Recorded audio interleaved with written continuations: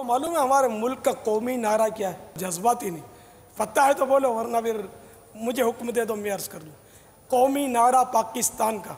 भाई, ये कह रहे हैं पाकिस्तान का मतलब क्या? ला इलाहा इल्लल्लाह। क्या ये कौमी नारा है आपको? कौन कौन तायद करता है? जवाब दुरुस्त है। यार, ये नारा कौमी नारा है। अगरचे वो लगे ना लगे अपनी लिखा हुआ है कि ये कौमी नारा है पाकिस्तान का। छपा हुआ है। मगर छुपा हुआ है। मैं यही सोच रहा था अपने कर देते ना बैठे बैठे मगर वो कौमी नारा हम इंटरफेयर नहीं कर सकते। अर्ज़ तो कर सकते हैं ना उनसे कि सरकार अली इस्लाम का नाम नामी भी उसमें आ जाएगा और कलमा तैयबा भी पूरा हो जाएगा। पाकिस्तान का मतलब क्या? कौन हमारा रहनुमा? मोहम्मद पाकिस्तान का मतलब क्या?